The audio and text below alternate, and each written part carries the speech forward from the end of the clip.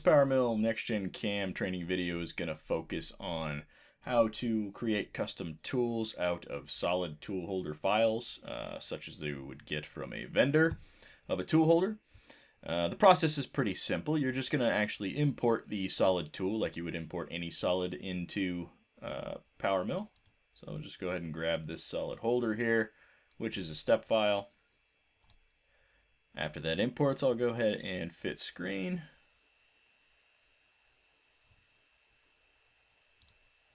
PowerMill just let me know that there's a solid surface in error there, but that's okay. We aren't going to worry about that because we aren't necessarily going to use the solid itself.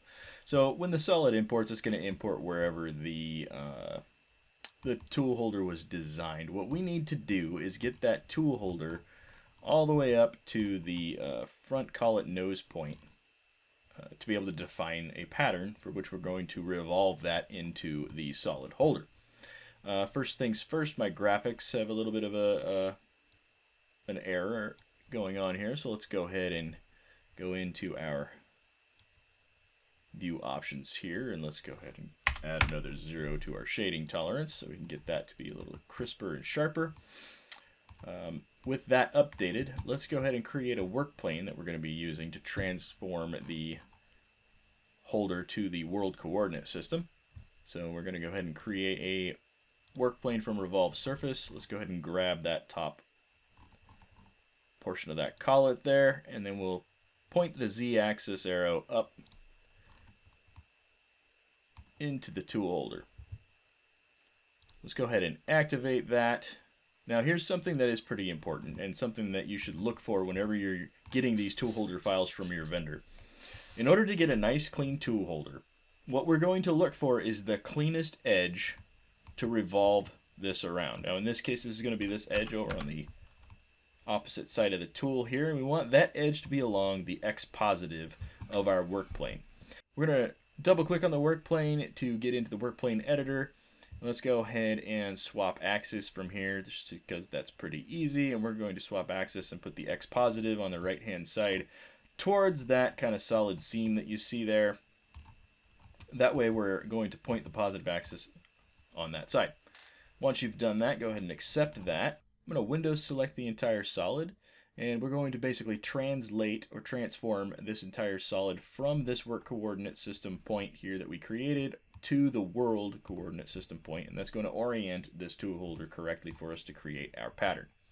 So what I want to do to do this is I want to right click on the actual model in the Explorer tree I want to do kind of a local transform, meaning that it's going to just transform this model, uh, the selected model that's in the tree. Let's go ahead and transform that, and we're going to go just to the world plane. So it's going to be from the active work coordinate system to our world coordinate system. And I'll accept that. Once I've done that, this work plane is obsolete. We can delete that work plane. And now what we should see is that when we go to the front view of our file and refresh it, we should see that that seam is on the right hand side so that there's kind of is the solid seam that's there. There are no balancing features within the area that we want to create our profile from. Now that the solid's in the correct position, let's go ahead and create a pattern. And we're just going to go into the curve editor and that will create our pattern automatically for us. And what we want to look for is underneath our curve options, we actually see the option for spun profile and activate that spun profile.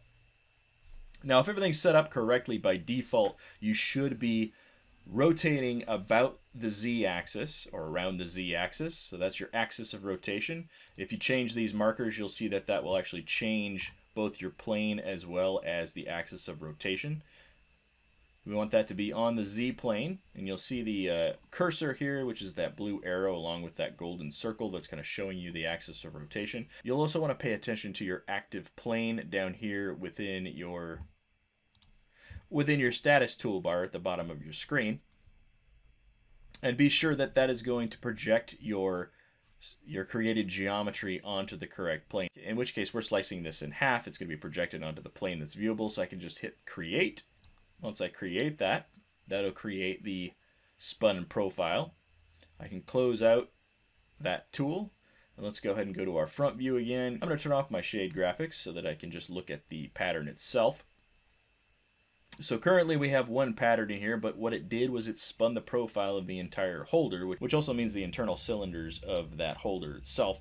What we need from this profile is just the connection point of our flange, as well as the tip of our collet in line with our work plane here. Uh, that way we can revolve this into a solid within the holder utility within PowerMill.